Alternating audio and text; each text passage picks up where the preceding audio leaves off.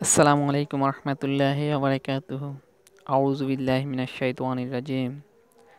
আবু সৈদ খুদ্রি রাদি আল্লাহ তালা আনহু থেকে বর্ণিত। রাসুলুল্লাহ সাল্লাহ আলাইসাল্লাম বলেছেন, কেয়ামতের দিন নু আলাইসাল্লামকে ডাকা হবে। তিনি বলবেন, সদা উপস্থিত, আপনার সন্তুষ্টি বিধানে আমি সদা তৎপর হে আমার রব। অতঃপর আল্লাহ তাকে জিজ্ঞেস করবেন, তুমি কি পৌঁছিয়েছ? তোমার প্রতি যা প্রেরণ করা হয়েছে? তিনি বলবেন হ্যাঁ। তখন তার উম্মতকে বলা হবে, সে তোমাদেরকে পৌঁছিয়েছে যা তার উপরে প্রেরণ করা হয়েছিল। তারা বলবে, আমাদের নিকট কোনো সতর্ককারী আসেনি। তখন আল্লাহ তাকে জিজ্ঞেস করবেন, তোমার জন্য কে সাক্ষী দিবে? তিনি বলবেন, মোহাম্মদ ও তার উম্মত। অতঃপর তারা সাক্ষ্য দিবে যে নিশ্চয়ই তিনি পৌঁছিয়েছেন। আর রাসুল হবেন তোমাদের সাক্ষী। এ হচ্ছে আল্লাহ তালার বাণী। অর্থাৎ, আর এভাবে আমি তোমাদেরকে মধ্যমপন্থী উম্মত বানিয়েছি, যাতে তোমরা মানুষের উপর সাক্ষী হও এবং রাসুল সাক্ষী হন তোমাদের উপর। ওয়াসাদ অর্থ ইনসাফপূর্ণ পথ বা মধ্যমপন্থার অনুসারী। বুখারি, তিরমিজি ও ইবনু মাজা হাদিসটি সহি বলেছেন। আর এখানে যে আয়াতটি দেওয়া হয়েছে সেটি হচ্ছে সুরাবাকার একশো তেতাল্লিশ নম্বর আয়াত। এরপর আরেকটি হাদিস হচ্ছে, আবু মুসার আদি আল্লাহ তালা আনহু থেকে বর্ণিত। রাসুল্লাহ সাল্লাহ আলাইসাল্লাম বলেছেন যখন কেয়ামতের দিন হবে, আল্লাহ তালা প্রত্যেক মুসলিমের নিকট একজন ইহুদি অথবা খ্রিস্টান দেবেন। অতঃপর বলবেন, এ হচ্ছে তোমার জাহান নাম থেকে মুক্তির বিনিময়।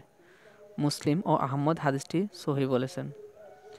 আবু মুসার আল্লাহ তালা আনহু থেকে বর্ণিত রাসুল সাল্লাহ আলাইসাল্লাম বলেছেন, এই উম্মতকে তিন ভাগে উপস্থিত করা হবে। প্রথম ভাগ বিনা হিসাবে জান্নাতে প্রবেশ করবে। দ্বিতীয় ভাগ থেকে সামান্য হিসাব নেওয়া হবে। অতঃপর তারা জান্নাতে প্রবেশ করবে। তৃতীয় ভাগ নিজেদের পিঠের উপর বড় পাহাড়ের ন্যায় পাপসহ উপস্থিত হবে। অতঃপর আল্লাহ তাদের জিজ্ঞাসা করবেন, অথচ তিনি তাদের সম্পর্কে অধিক জানেন। আল্লাহ জিজ্ঞাসা করবেন, এরা কারা? তারা বলবে, এরা আপনার কতক বান্দা? তিনি বলবেন, এসব তাদের থেকে হটাও, এগুলো ইহুদি ও খ্রিস্টানদের উপর রাখো এবং তাদেরকে আমার রহমতের জান্নাতে প্রবেশ করা। সুবাহান আল্লাহ আল্লাহ কত দয়াময়। আমরা শেষ নবীর উম্মত হওয়াতে আমরা কতই না ভাগ্যবান। এরপর আবু উমামা রাদি আল্লাহ তালা আনহু থেকে বর্ণিত।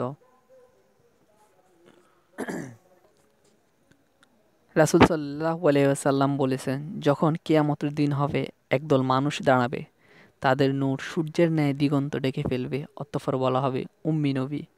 প্রত্যেক নবী এই জন্য প্রস্তুত হবেন, অতঃপর বলা হবে, মোহাম্মদ ও তার উম্মত। অতঃপর একদল দাঁড়াবে, তাদের নূর চোদ্দ তারিখের চাঁদের ন্যায় দিগন্তের মধ্যবর্তী সব ডেকে ফেলবে। বলা হবে, উম্মি নবী। প্রত্যেকে এজন্য প্রস্তুত হবেন অতঃপর বলা হবে, মোহাম্মদ ও তার উম্মত। অতঃপর একদল দাঁড়াবে, তাদের নূর আসমানের তারকার ন্যায় দিগন্তের মধ্যবর্তী সব ডেকে ফেলবে, বলা হবে উম্মি নবী। প্রত্যেকে এজন্য প্রস্তুত হবেন অতঃপর বলা হবে মোহাম্মদ ও তার উম্মত। অতঃপর দু মুষ্টি উঠাবেন ও বলবেন, এটা তোমার জন্য হে মোহাম্মদ ও এটা আমার পক্ষ থেকে তোমার জন্য হে মোহাম্মদ। অতঃপর মিজান কায়েম করা হবে এবং হিসাব আরম্ভ হবে। এরপর আরেকটি হাদিস হচ্ছে, আনাস ইবনু মালিক রাদিউল্লাহ তালা আনহু থেকে বর্ণিত। রাসুল সাল্লাহ আলাইসাল্লাম বলেছেন, সাদা এ আয়নার ন্যায় অনুরূপ আয়না নিয়ে জিব্রিল আমার নিকট এসেছে, তাতে কালো একটি ফোঁটা। আমি বললাম, হে জিব্রিল, এটা কি? তিনি বললেন, এ হচ্ছে জুমা।